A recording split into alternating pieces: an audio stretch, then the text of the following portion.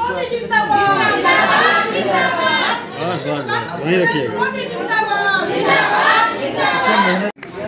आ, एक तो हमारे यशस्वी प्रधानमंत्री जी का सत्तरवां जन्मदिन है। हम सारे लोग पूरे भारत के लोग उनको जन्मदिन की बहुत सारी शुभकामना देते हैं और साथ ही साथ ईश्वर से दुआ करते हैं कि जिस प्रकार उन्होंने भारत को आगे बढ़ाने का काम किया है और पूरे देश के, हर वर्ग के लोगों के लिए और विशेषकर हम महिलाओं के लिए जो उन्होंने वर्क किया है, काम किया है, उसके लिए हम लोग तहे दिल से धन्यवाद देना चाहेंगे और ईश्वर से दुआ कहेंगे कि वो स्वस्थ रहें दीर्घायु रहें और इतनी और माँ भारती उन्हें इतनी क्षमता दे कि हर वर्ग के लिए वो ऐसे ही काम करते जाए और हमारा देश फिर स्वर्णिम इतिहास लिखने के लिए आगे बढ़े।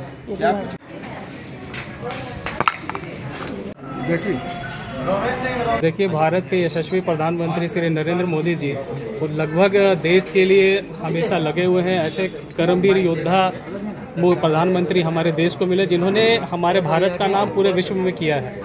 उन्हीं के जन्मदिन को जन्मोत्सव को मनाते हुए हम आज ब्लड डोनेशन कर रहे हैं ताकि एक समाज में ये भी संदेश जाए कि कोरोना काल में ब्लड का अभी कमी है सारे ब्लड सेंटर्स में तो लोगों को दिक्कत ना हो, उसके लिए हमारा युवा मोर्चा के द्वारा अभी ये ब्लड डोनेशन का कैंप का आयोजन किया गया है ताकि हम लोग सेंटर्स में ज़्यादा से ज़्यादा ब्लड्स का कलेक्शन कर सके।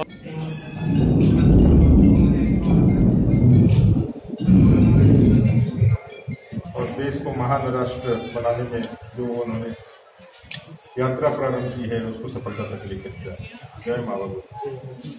भेंट स्वरूप प्रदान किया गया है उसे ग्रहण कर करेंगे।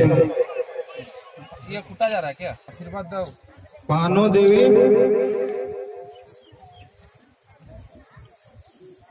मंजरी देवी।